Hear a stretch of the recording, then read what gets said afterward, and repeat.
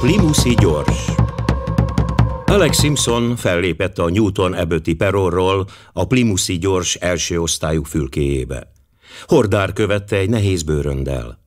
Már éppen lódította volna fel a csomagtartóra, amikor az ifjú tengerésztiszt megállította.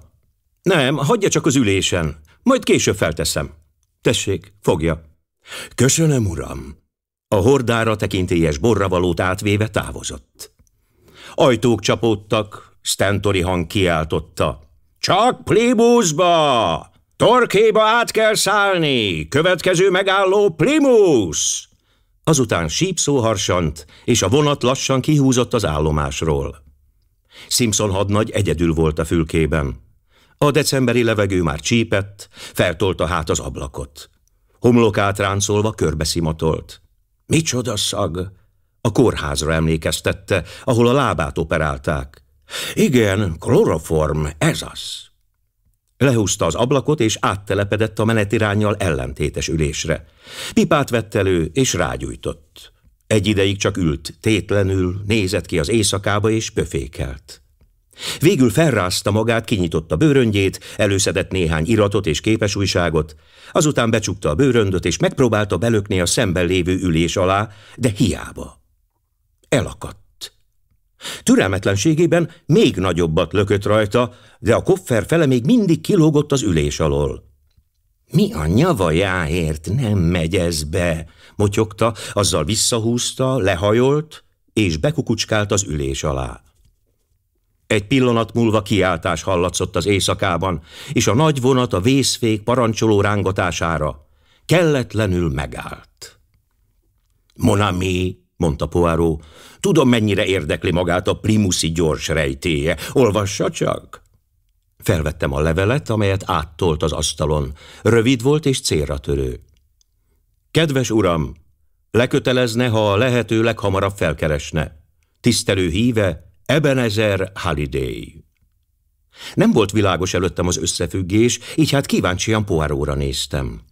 Válaszul fogta az újságot, és felolvasott belőle. Szenzációs felfedezésre került sor tegnap este. Egy fiatal haditengerész tiszt visszatérőben Primusba átszúrt szívű női tetemet talált fülkéjének ülése alatt. A tiszt rögves meghúzta a vészféket, és a vonat megállt. A harminc év körüli gazdagon öltözött hölgyet ez idáig nem sikerült azonosítani. Azután később a Plimuszi gyorsban talált női holttestről kiderült, hogy nem más, mint Mrs. Rupert Carrington nagyságos asszony. Most már érti, barátom? Ha nem, hozzáteszem a következőt. Mrs. Rupert Carringtont házasságkötése előtt Flossie Hallidaynek hívták, és az öreg Hallidaynek Amerika acélkirályának volt a leánya. Aki most hívatja magát? Pompás! Tettem neki egy kis szolgálatot régebben, holmi bemutatóra szóló kötvények ügyében. És egyszer, amikor egy királyi látogatás kapcsán Párizsba jártam, megmutatták nekem Mademoiselle Flossit. Le joli petit pensionnaire. És milyen zsolidött! Az jó nagy galibát is okozott, majdnem belekeveredett egy rossz viszonyba. Hogy történt? Egy bizonyos de la gróf Ambien mouvé sujet, egy senkiházi, ahogy maguk mondanák, egy kalandor, aki tudja, hogyan lehet egy romantikus fiatal lányra hatni. Szerencsére az apja idejében kiszagolta. Gyorsan hazavitte Amerikába. Később hallottam, hogy férjhez ment, de a férjéről semmit sem tudok. Hmm, mondtam. Rupert Carrington nagyságos úr is megéri a pénzét, a vagyonát elverte az ügetőn, így hát gondolom az öreg Holiday dollárjai a legjobbkor jöttek. Még egy ilyen jóképű, jómodorú, lelkiismeretlen gazembert keresve sem lehette találni. Ah, szegény kis hölgy, elle ne pas bien. Felteszem, a férj mindjárt az elején tudomására hozta, hogy a pénze és nem ő érdekli. Azt hiszem, szinte azonnal elhidegültek egymástól. Az újabb plegykák szerint hamarosan törvényesen is szétváltak volna. Az öreg Haliday nem buta ember, tud vigyázni a pénzére. Bizonyára minden esetre tény, hogy Rupert nagyságos úrnak egy fillérje sincs. Aha, vajon... Vajon micsoda? Kedves barátom, ne ugorjon a torkomnak. Látom, érdekli az eset. Tartson velem Mr. Hallidayhez. A sarkon van egy taxiállomás. Néhány perc múlva meg is érkeztünk a gyönyörű Park Lane házhoz, amelyet az amerikai mágnás kibérelt. Bevezettek bennünket a könyvtárszobába, ahol hamarosan csatlakozott hozzánk egy nagy, testes, átható tekintetű és agresszív álló férfi. Monsieur Poirot, mondta Mr. Halliday. Gondolom tudja, miért kérettem ide. Olvasta az újságokat, és én nem az a fajta vagyok, akinek megalszik a tej a szájában. Hallottam, hogy éppen Londonban van, és eszembe jutott, milyen kitűnő munkát végzett azokkal a kötvényekkel. Neveket sohasem felejtek el. A Scotland Yard legjobb nyomozói állnak rendelkezésemre, de nekem saját ember is kell. A pénz nem akadály. Minden dolláromat a kislányomnak szántam, és most, hogy meghalt, az utolsó centig arra fogom költeni, hogy lefülejék azt a nyomorultat. Érti? Úgyhogy magának csak az árut kell leszállítania. Poirot meghajolt. Vállalom, monsieur, annál inkább, mivel többször is láttam a leányát Párizsban. És most, kérem, ismertesse Plimuszi útjának körülményeit és minden olyan részletet, amely ön szerint fontos lehet. Először is, válaszolta Halliday, nem Primusba utazott. Weekendre ment, Evönmét kurtba, a Svensi hercegnő kastélyába. A 12 óra 14-esen indult a Paddington pályaudvarról, amely 2 óra 50-kor érkezik Bristolba. Ott kellett átszállnia. A legfontosabb primuszi gyorsvonatok természetesen Westburyn keresztül mennek, meg sem közelítik Bristolt. A 12-14-es Bristolig nem áll meg, de onnantól megáll Westonban, Tauntonban, Exeterben és Newton Abbottban. Lányom egyedül utazott a fülkében, amely Bristolig le volt foglalva számára. A komornájának pedig a következő kocsiba, harmadosztályra váltott jegyet. Poirot bólintott, és Mr. Halliday folytatta. Az Evönméd Kurti társaság igen vidámnak ígérkezett, több bált is terveztek, ezért lányom szinte minden ékszerét magával vitte. Érhetett vagy százezer dollárt az egész. A moment, szakította félbe Poirot. Kinél voltak az ékszerek? A lányánál vagy a komornánál? Lányom mindig magánál tartotta őket egy kis kék szattyán bőrdobozban. Folytassa, monsieur. Bristolban a komorna fogta úrnője neszeszerét és porköpenyét, amelyek nála voltak, és átment Flossi fülkéjéhez. Nagy meglepetésére lányom azt mondta, nem száll ki Bristolban, hanem tovább megy. Utasította a mason hogy szedje le a podgyászt, és tegye be a csomag megőrzőbe.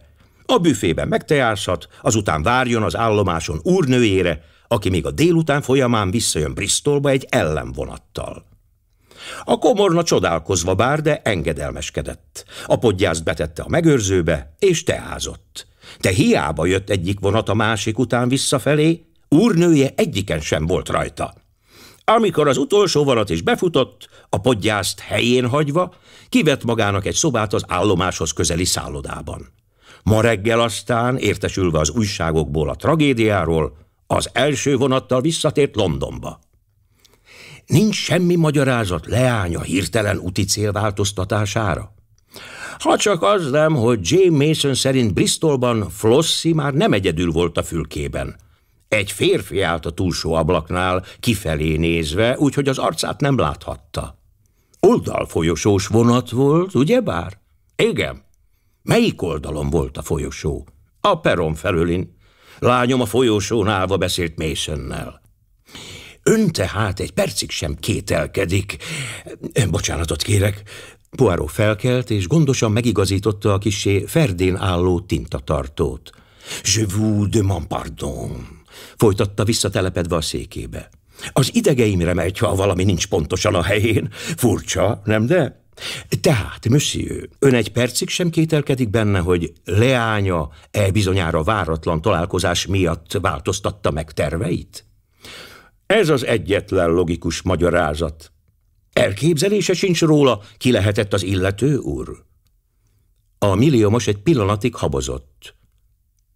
Nem, fogalmam sincs róla. És most térjünk rá a holtest megtalálására. Egy fiatal tengerésztiszt fedezte fel, aki azonnal meghúzta a vészféket. A vonaton volt egy orvos. Megvizsgálta a holttestet. Először kloroformmal elkábították, majd szíven szúrták. Úgy vélte, négy órája lehetett halott, vagyis nem sokkal Bristol után csinálhatták, valószínűleg Bristol és Weston, vagy Weston és Taunton között. És az ékszeres dobozka? Az ékszeres dobozka eltűnt, Monsieur Poirot. Még valami, Monsieur. Kire száll leánya vagyona a halála után? Flossi rögtön a házasság kötése után végrendeletet csinált, amelyben mindenét a férjére hagyta.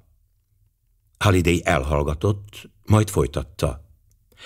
Elárulhatom önnek, Monsieur Poirot, hogy elftelen gazembernek tartom a vőmet, s hogy tanácsomra leányom éppen el akart válni tőle, ami nem ütközött volna semmilyen nehézségbe. Úgy írattam rá a pénzét, hogy életében a férje hozzá sem nyúlhatott. De noha már esztendők óta külön éltek, követelésére Flossi gyakran adott neki kisebb-nagyobb összegeket, hogy a botrányt elkerülje. Én azonban úgy döntöttem, véget vetek ennek. Nagy sokára Flossi is beleegyezett, és utasítottam ügyvédeimet, hogy kezdjék meg a procedúrát. És hol van most Monsieur Carrington? Londonban. Tegnap azt hiszem vidéken volt, de este visszajött. Poirot gondolkodott. Azt hiszem, ez minden, monsieur. Kívánja látni Jane mason a komornát? Ha óhajtja. Halliday csengetett, és parancsot adott az inasnak. Pár perc múlva belépett a szobába Jane Mason, egy tiszteletre méltó külsejű, kemény arcú nő, akin jó cseléthez illően nyoma sem látszott a tragédia kiváltotta érzelemnek. Megengedi, hogy feltegyek néhány kérdést? Tegnap indulás előtt úrnője ugyanúgy viselkedett, mint máskor? Nem volt izgatott, nyugtalan? Nem, uram, dehogy is. De Bristolban már egészen másképp festett? Igen, uram, nagyon ideges volt, mint aki azt sem tudja, mit beszél. Mit mondott önnek pontosan? Amennyire visszaemlékszem, uram, azt mondta, Mason, meg kell változtatnom a terveimet, történt valami. Úgy értem, mégsem szállok ki itt, muszáj tovább mennem. Tedd be a podgyászt a megőrzőbe, így áll egy teát, azután várj rám az állomáson. Itt várjak őrre, asszonyom? kérdeztem én. Igen, igen, ne hagyd el az állomást, majd egy későbbi vonattal visszajövök. Nem tudom mikor, lehet, hogy csak egész későn. Igenis, asszonyom, feleltem én. Nem faggatózhattam persze, de nagyon furcsának találtam a dolgot. Ez nem vallott rá úrnőjére, ugye bár? Egyáltalán nem, uram. Magának mi a véleménye? Arra gondoltam, uram, hogy azzal az úrral lehet kapcsolatos, aki ben volt a fülkében. Az úrnő nem beszélt ugyan hozzá, de egyszer-kétszer feléje fordult, mintha azt akarná kérdezni tőle, hogy jól csinálja-e. De maga annak az úrnak az arcát nem látta? Nem, uram, egész idő alatt háttalált felém. Le tudná írni a külsejét? Világos barna kabát és úti sapka volt rajta. Magas volt és karcsú, a tarkója fekete. Nem ismerte fel? Ó, nem, uram, nem hiszem. Nem a gazdája, Mr. Carrington volt az véletlenül? Mészön meglepetnek látszott. Ó, nem, nem hiszem, uram, de nem biztos benne. Alakra hasonlított a gazdámhoz, uram, de eszembe sem jutott, hogy ő az. Olyan ritkán láttuk. Persze azt nem állíthatom, hogy nem ő volt. Poáró felvett a szőnyegről egy gombostűt, rosszallóan merett rá, majd folytatta. Lehetséges, hogy az a férfi Bristolban szállt fel a vonatra, még mielőtt maga odaért volna a fülkéhez? Mészön gondolkodott. Lehetséges, uram, azt hiszem. Az én kocsim nagyon zsúfolt volt, beletelt néhány percbe, mire leszállhattam.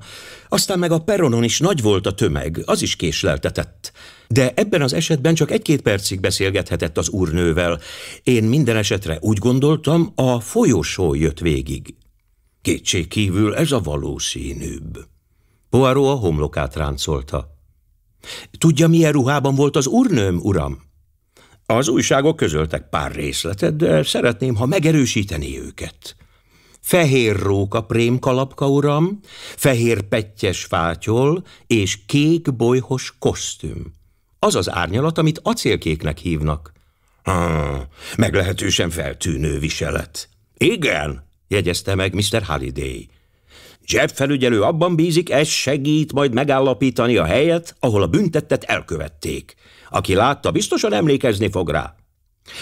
Precizimo, köszönöm, mademoiselle. A komorna távozott. Nos, Poirot felpattant. Itt már nem tehetek többet. Kivéve, monsieur, hogy meg kell kérnem, mondjon el mindent. Mindent. Már elmondtam. Biztos ebben? Persze. Akkor vége. Nem vállalhatom az ügyet. Miért? Mert ön nem őszinte hozzám. Biztosíthatom, hogy... Nem, ön valamit elhallgat. Pillanatnyi szünet után Halliday elővett a zsebéből egy papírost, és átnyújtotta barátomnak. Gondolom erre céloz, Monsieur Poirot. Bár csípjen meg a kánya, ha sejtem, honnan tud róla. Poirot mosolyogva szétbontotta a papírt. Szálkás, dőlt betűkkel írt levél volt. Poirot felolvasta. Cher, madame, kimondhatatlan örömmel nézek elébe új találkozásunknak. Levelemre írott kedves válasza után már alig bírok türelmetlenségemmel. Sohasem felejtettem el azokat a párizsi napokat.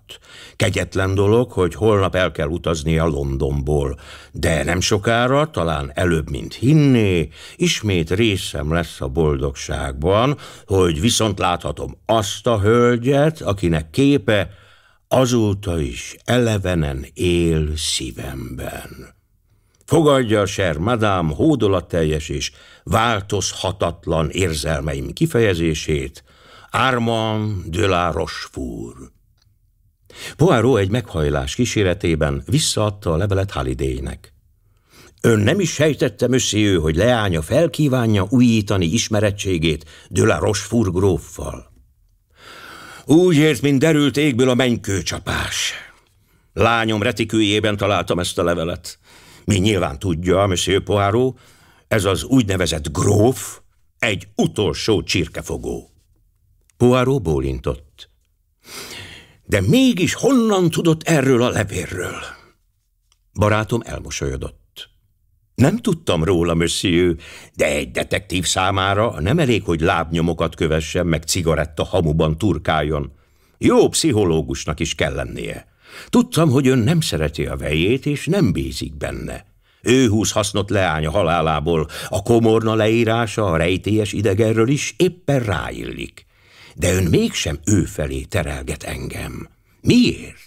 Nyilván, mert gyanúja más irányba mutat, tehát valamit eltitkol előlem. Igaza van, Monsieur Poirot. Biztosra vettem, hogy Rupert a bűnös, amíg meg nem találtam ezt a levelet. Iszonyatosan felkavart.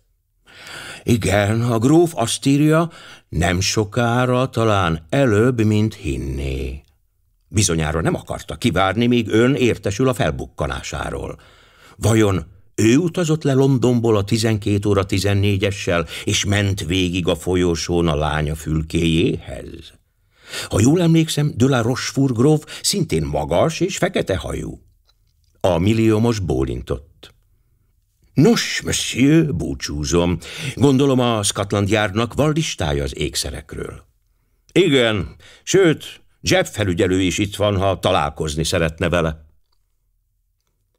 Jeff régi barátunk volt, bizonyos szeretett teljes lenézéssel üdvözölte Poárót. Hogy van, monsieur? Remélem, nincs harag, még ha mi kette másként látjuk is a dolgokat. És hogy vannak a kis szürke sejtek? Teljes gőzzel működnek? Poáró szélesen mosolygott. Működnek, kedves Jeb, de mennyire, hogy működnek? Akkor jó. Mit gondol Rupert nagyságos úra tettes, vagy valami piti kis bűnöző? Természetesen rajta tartjuk a szemünket a szokásos helyeken. Tudni fogunk róla, ha megpróbálják elpasszolni a csecsebecséket, bár pedig akárki csinálta is, biztos, hogy nem a csillogásokban akar gyönyörködni. De nem ám. Most azt próbálom kideríteni, hol volt Rupert Carrington tegnap. Kissé rejtélyes a dolog. Egy emberem figyeli. Kitűnő óvintézkedés, de talán késtek vele egy napot, jegyezte meg finoman Poirot. Maga mindig tréfál, Bössző Poirot. Na, én megyek is ki a Paddingtonra. Bristol, Weston, Taunton, arra felé fogok szimatolni. Viszlát! Eljön hozzám este, és elmeséli, mire jutott? Hogyne, ha visszaérek! A derék felügyelő a nyüzsgés híve, mormolta Poáró, amint barátunk távozott. Utazik, lábnyomokat méreget, sarat meg cigaretta hamut szed össze, sürök forog, leírhatatlanul buzgó. S ha szóba hoznám előtte a pszichológiát, tudja, mit csinálna, barátom? Vigyorogna, azt mondaná magában, szegény öreg Poirot, vénül, szenilis lett. Jepp a fiatal generáció, amely kopogtat az ajtón. És, ma foi, olyan szorgosan kopogtat, hogy közben észre sem veszi, az ajtó nyitva van. És maga mihez kezd most? Mivel carte blanchot kaptunk, Elköltök három penit, felhívom a riccet, mint észrevehette, ott szállt meg a gróf. Utána pedig, mivel vizes lett a lábam, és már tüsszentettem is kettőt, hazamegyek és készítek magamnak a borszeszégőn egy kis tizánt. Legközelebb másnap reggel találkoztam Poiróval. Éppen a reggeliét fejezte be ráérősen. Nos, kérdeztem mohón, mi történt? Semmi. Hát Jepp? Nem láttam. A gróf tegnap előtt kijelentkezett a Ritzből. A gyilkosság napján? Igen. Akkor minden világos. Rupert Carrington tisztázva van. Azért, mert de la Rochefort gróf kijelentkezett a Ritzből. Maga túlságosan kapkodó barátom. Minden esetre követnie kell, le kell tartóztatni. De mi lehetett az indítéka? Százezer dollár ára ékszer bárki számára kiváló indíték. Nem, a kérdés szerintem az, miért kellett megölni az asszonyt? Miért nem érte be az ékszerek eltulajdonításával? A hölgy nem tett volna feljelentést. Miért? Azért, mert nő, Monami. Valaha szerette azt a férfit. Épp ezért némán viselné veszteségét. És a gróf, aki kiváló pszichológus, ha nőkről van szó, innen a sikerei, ezt pontosan tudja is. Másrészt, ha Rupert Carrington ölte meg, ő vajon miért vitte el az ékszereket, amelyek fatálisan gyanúba keverhetik? Megtévesztésből? Á, lehet, hogy igaza van, barátom. Á, itt is van Jepp. Megismerem a kopogását. A felügyelő vidoran mosolygott. Jó reggelt, Poáró. Most értem vissza. Elég szép munkát végeztem. Hát maga? Én rendet tettem a gondolataim között, felelte nyugodtan Poáró. Jeb harsogva nevetett. Vénül az öreg, dörmögte oda nekem a bajsza alatt. Mi fiatalok ennyivel nem érjük be, mondta fennhangon. Kell dommage, jegyezte meg Poáró. Nos, érdekli, mire jutottam? Megengedi, hogy kitaláljam? Meglelte a kést, amelyel a büntényt elkövették, mégpedig a sinek mellett valahol Weston és Taunton között, továbbá kikérdezett egy újságárust, aki beszélt Mrs. Carringtonnal Westonban. Jebnek leesett az álla. Honnan az ördögből tudja? Ne mondja, hogy azok a mindenható kis szürke sejtek súgták meg magának. Örülök, hogy ez egyszer elismeri, valóban mindenhatók. Árulja el, egy silinget kapott az újságos gyerek a hölgytől? Nem. Egy fél koronást. Jeb vigyorgott. Végre magához tért ámulatából. Ezek a gazdag amerikaiak csak úgy szorják a pénzt. Így azután az újságos persze emlékezett a hölgyre. De mennyire? Nem minden nap üti a markát fél korona borra való? A hölgy kiszólt neki, és két képes újságot kért. Az egyiknek egy kék ruhás lány volt a borítóján. Ez éppen illik hozzám, mondta. Bizony, az újságos tökéletesen emlékezett rá. Nekem ennyi elég is volt. Az orvos tanúvallomása szerint a gyilkosságot Taunton előtt kellett elkövetni. Feltételeztem, hogy a gazfickó azonnal kidobta a kést, végigmentem hát a sinek mentén, és meg is találtam. Tauntonban érdeklődtem az emberünk után, de hát persze nagy állomás, nem volt valószínű, hogy bárki is felfigyelt rá. Nyilván egy későbbi vonattal tért vissza Londonba. Poirot bólintott. Nagyon valószínű. De amikor visszajöttem, újabb hír fogadott. Bizony megkezdték elpasszolni az ékszereket. A nagy smaragdot tegnap este csapták zálogba, méghozzá egy közismert tolvaj. Mit gondol, kicsoda? Nem tudom, de alacsony férfi lehetett. Jeb rámerett. Az bizony. Jó alacsony. A vörös nárki. Kicsoda az a vörös nárki? kérdeztem. Egy igen dörzsölt ékszertolvaj, uram, a gyilkosságtól sem riad vissza.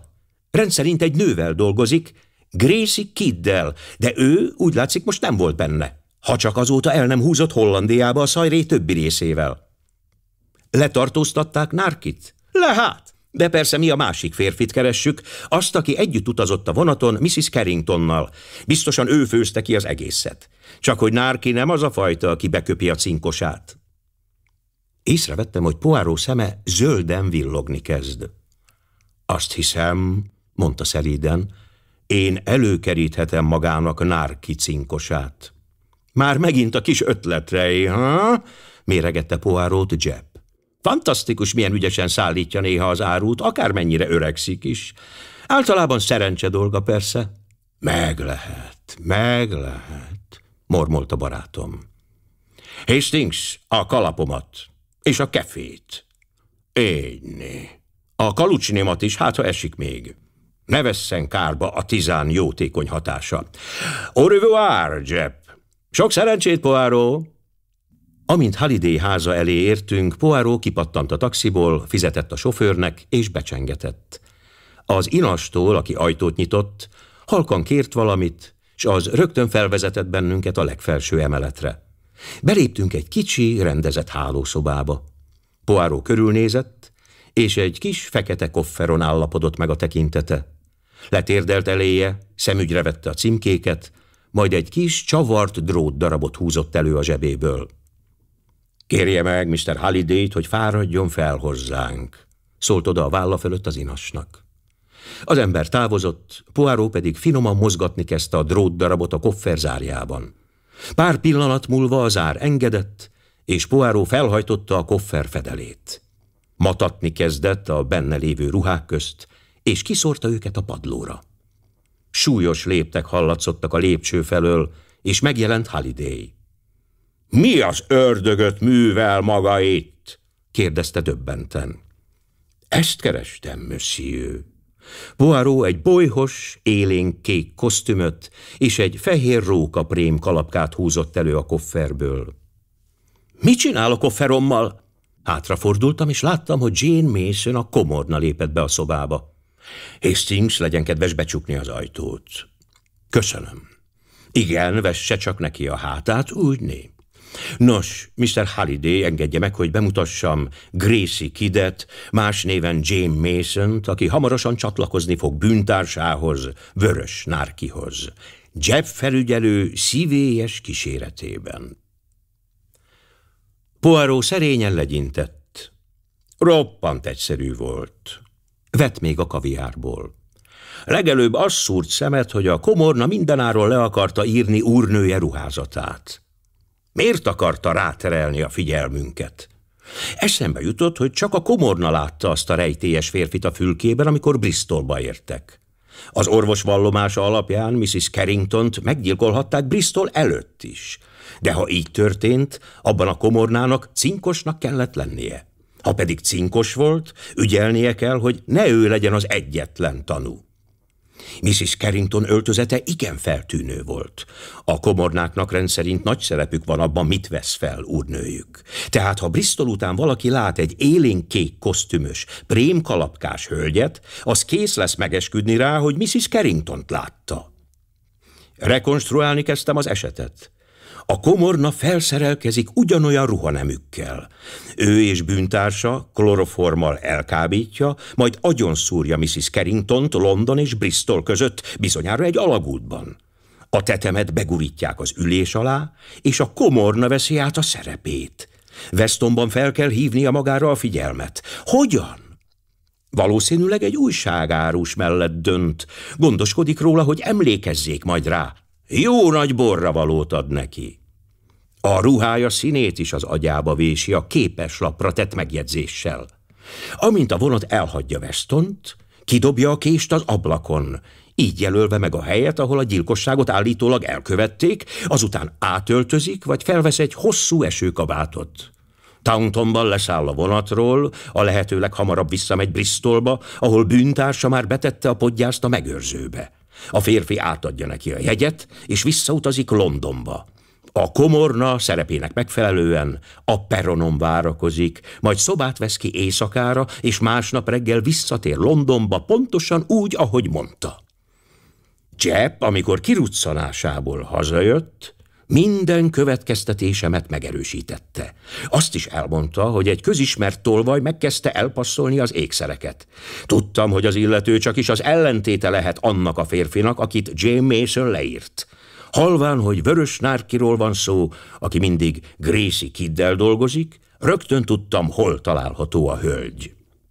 És a gróf?